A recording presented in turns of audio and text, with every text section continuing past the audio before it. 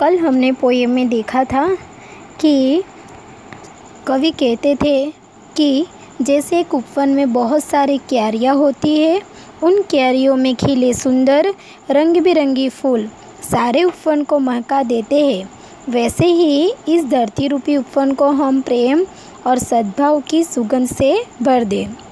और क्या बोला था कवि ने कि जैसे सूरज की चमक सारी धरती को प्रकाश से भर देती है वैसे ही हम कहीं ज्ञान और षडगुणों की चमक से पूरी धरती को प्रकाशित कर दे तो कविता में धरती गगन और पवन को एक बताया गया है और हमने क्या सीखा था कवि इन पंक्तियों की हमारी धरती कहना। चाहते हैं कि आसमान भी एक है, समय ऐसा भी सबके लिए एक जैसी को अपना। नहीं जब समझता प्रकृति ही हमें मनुष्य में कोई भेदभाव नहीं चेहरों पर तो फिर हमारे मन दिखाई नहीं दूसरे से अलग क्यों है के आँगन सोने पदे कौन पूछ रहा है हमें वहाँ। से ही हँसी हम क्यों सबको एक जैसा नहीं समझते? आवाज़ें हमारी भावनाएँ आती। सबके लिए एक जैसी ऐसे क्यों नहीं समय है? में हम कुछ ऐसा करें सबके से भरे जीवन में खुशियाँ बिखर जाए और सबके हृदय को प्रेम के अमृत से और मैना बनकर तो कल हमने यहाँ तक ये पोएम उस पंक्ति में सीखी कवि क्या कहना चाहते आगे कि जैसे सीखेंगे। कोयल, मैना आदि अपनी सुरीली चहचहाट से सारे वातावरण को संगीतमय बना देती है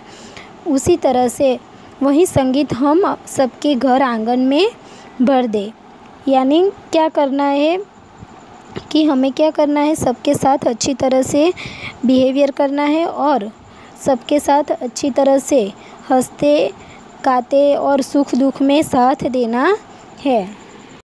नयन किसी के रहे न गीले, हँसते हँसते जीवन जी ले अमृत विष मिलजुल कर पी ले हर मुश्किल से तप कर निकले, कुंडन बने दम के। इन पंक्तियों में कवि क्या कहना चाहते हैं? हम यह कोशिश करें कि किसी के जीवन में दुख न हो, किसी की आँखों में आँसू न आए, और सबके जीवन में खुशियाँ ही हो। जीवन में यदि कोई मुश्किल घड़ी आए तो सब मिलजुल कर उसका सामना करें। अमृत विष मिलजुल कर पी लें, हर मुश्किल से तब कर निकले, कुंदन बन दमके। यानी हम सुख और दुख में एक दूसरे के साथ रहे। जैसे सोना अग्नि में तपकर कुंदन बन जाता है, वैसे ही हमें अपनी कठिनाइयों से सीखते हुए, अपनी कमियों को सुधारते हुए जीवन पथ पर आगे बढ़े। यानी मुश्किल समय में ही हम शत्रु और मित्रों की पहचान कर पाएँगे और अपनी जो कमियाँ होगी और भूलों को जान पाएँगे। हम सबके साथ साथ स्वयं को सुधारने का मौका भी मिलेगा। और हमारा व्यक्तित्व ऐसे ही निखर जाएगा जैसे सोना आग में जलकर कुंदन के रूप में निखर जाता है। तो हमें क्या करना है? अमृत और विष शब्दों का प्रयोग यहाँ क्यों किया गया है? क्योंकि उसको सुख और दुख के अर्थ में किया गया है। जिस तरह से सुख और दुख होता है, उसी तरह से अमृत और विष होते हैं। तो हमें उसे क्या करना है? हंसकर और मिलजुल कर पीना है। यानी मिलजुल कर सुख और दुख को बांटना है। तो बच्चों, आज हमने ये दोनों पंक्ति में क्या सीखा? हमें क्या करना है? सबके साथ अपनेपन से रहना है और लोगों के चेहरों पर मुस्कुराहट लानी है। क्योंकि इस समय में किसी के चेहरे पर मुस्कुराहट दिखाई नहीं दे रही है। तो घर के आँगन जो सूने पड़ रहे हैं तो वहाँ हमें हँसी के ठहाकों की आवाज़ों से क्या करना है?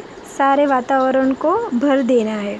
और ऐसे समय में हम कुछ ऐसा करना है कि सारी जगह खुशियाँ बिखर जाए, जैसे बुलबुल, कोयल, मैना आदि। अपनी सुरीली चहचहाट से सारे वातावरण को संगीतमय बनाई देती है। वही संगीत हम सबके घर आँगन में भर दें और हम यह कोशिश करें कि किसी के जीवन में दुख न हो, किसी की आँखों में आँसू न आए, सबके जीवन में खुशियाँ हो। जीवन में यदि कोई मुश्किल घड़ी आए तो भी हम सब मिलजुल कर उसका सामना करें और सब सुख दुख में एक दूसरे के साथ रहे। जैसे सोना अग्नि में तपकर कुंदन कुंदन यानी सोना। तो सोना बन जाता है, वैसे ही हम अपनी कठिनाइयों से सीखते हुए, अपनी कमियों को सुधारते हुए जीवन पथ पर आगे बढ़े। सूरज सा चमके। ये पोएम से हमें क्या सीख मिलती है? कि हमें सबके साथ अपनेपन से रहना चाहिए, प्रेम और भाईचारे से रहना चाहिए और सबकी मदद करना चाहिए। तो बच्चों, आज हम यहाँ तक ये पोएम सीखेंगे। और आपका होमवर्क है कि आपको मौखिक जो क्वेश्चन आंसर जो आपको दिए गए थे, वो आपको लर्न करना है। वो पीडीएफ मैंने आपके व्हाट्सएप ग्रुप में भेज दी है। Okay thanks watching my video I hope आपको ये चैप्टर में सब कुछ समझ आ गया होगा।